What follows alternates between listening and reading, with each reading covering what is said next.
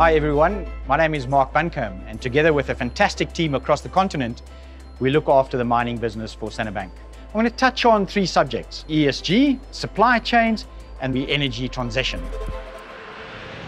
So ESG is a big thematic. In the last two or three years, everybody involved in this industry has a much better understanding of carbon emissions. So how do I think this will evolve? A lot of the other things around emissions uh, will come to the fore. Decentralized energy is a fantastic example, particularly down here in South Africa. Taking that off-grid in a decentralized way obviously reduces your emissions, but actually boards are thinking about this in terms of security of supply. We don't have enough uh, electricity to go around. And so it's not just driven by carbon emissions. You've got this confluence of activities. The second thing we're seeing is the market itself is adjusting. So what we're seeing now is premiums for certain commodities that are produced with a lower emissions uh, standard.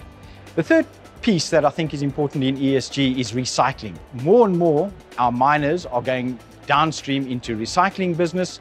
So fines, hydro, sorting technology, we think all of those you know, will become much more prevalent. And then the other thing I think that will evolve on ESG is we're going to move away from a carbon-only discussion. Our investors are very concerned about governance. It's something we need to respond to and our, and our clients need to respond to. The last piece, if you ask the miners themselves, they're going to say it's the S component. And not only safety, but the communities in which you operate and uh, effectively the license uh, to operate uh, you know, within those countries. The next big thematic is energy transition. The question is, how do we move towards a lower carbon, energy intensive uh, environment? When you think about energy transition, you're thinking about it in terms of generation, in terms of storage, and in terms of transition. And behind all of that is the question, which minerals will drive that energy transition?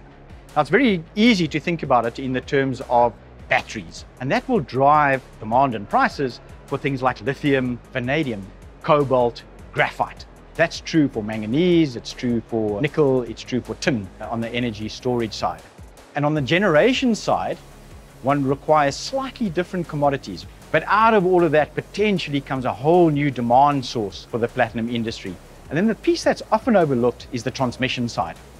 How do you move energy source that's produced from some sort of renewable form?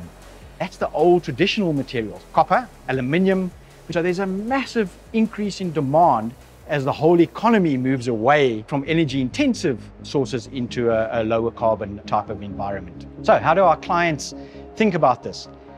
It is the one topic that drives corporate activity and M&A. And so what's tending to happen is, is a lot of these industries that aren't perfectly placed for the new energy transition are using their income in order to best position themselves for the energy transition going forward.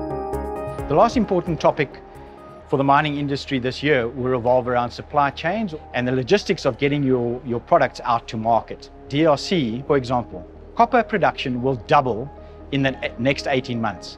Infrastructure is already constrained. You've got significant queues at border posts. There aren't enough trucks. There's going to be a massive infrastructure requirement in order to cope with the, the future production coming out of DRC. The more time I spend around you know, this industry, the more I realize just how complex it's getting. Those miners look at us as their bankers and their expectations of us is to adjust and adapt and support them as they manage all of these very complex parts of their business.